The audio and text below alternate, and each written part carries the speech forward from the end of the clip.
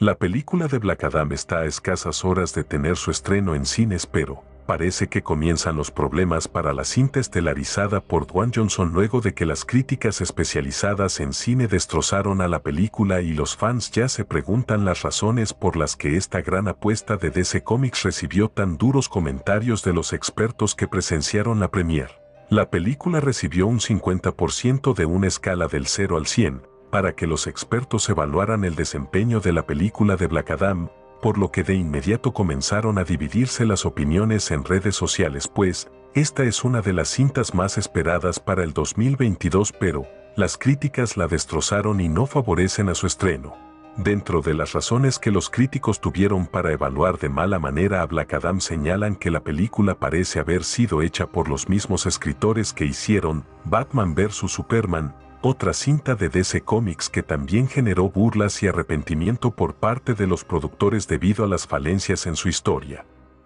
Otra de las razones por las que la crítica destrozaron a Black Adam es, según los expertos, que parece que la película fue realizada en otra época, dejando fuera elementos importantes en el cine de superhéroes.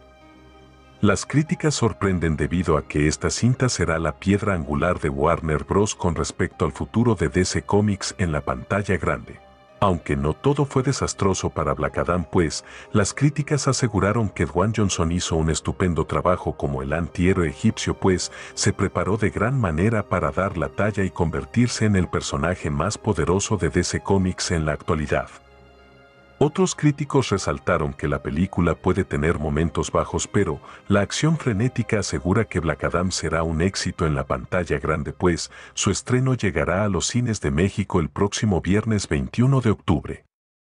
Además, advirtieron de una sorpresa al final de la cinta que pocos se querrán perder, pese a las críticas negativas. En los comentarios vertidos en Rotten Tomatoes, no se menciona que haya escena post-créditos pero se dice que el final de la cinta dejará a los espectadores con la boca abierta pues Black Adam será el comienzo de una nueva etapa para DC Comics y sus películas.